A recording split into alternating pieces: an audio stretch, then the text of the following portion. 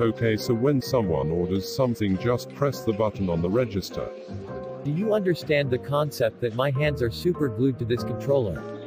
Come on, dude, it isn't that hard. Just rip them off or something.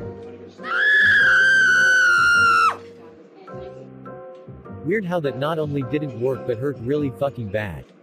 Alright, well, you stay here with your bad mood, I'll go check on Ashley. Oh no, this is unfortunate. Congratulations. You are no longer the most retarded employee. You think Batman ever fucked a bat? Wow, it's really impressive how quickly you disappoint me. Well, think about it. He spends all that time in the Batcave, and you know what they say.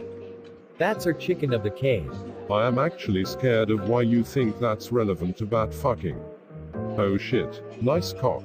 Okay, so someone might have set the kitchen on fire.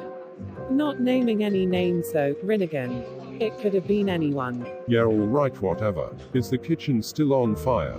No. I expertly put it out with all my gamer skills. I'm almost scared to ask how. Three gallons of urine. It belonged to you, right?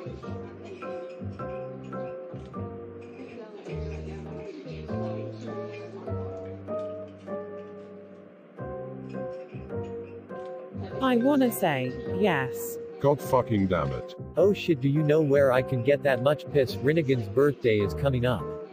You got 300 bucks. I can get it by Friday.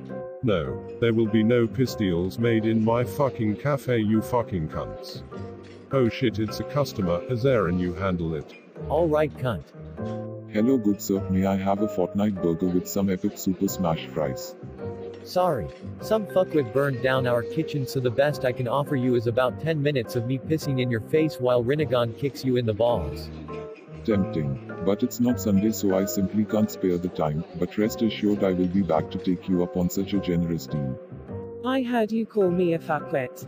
Good. Next time don't burn the kitchen you fucking idiot. I am very sad. This is my sad face. I know just how to cheer you up. How? Stop. Never.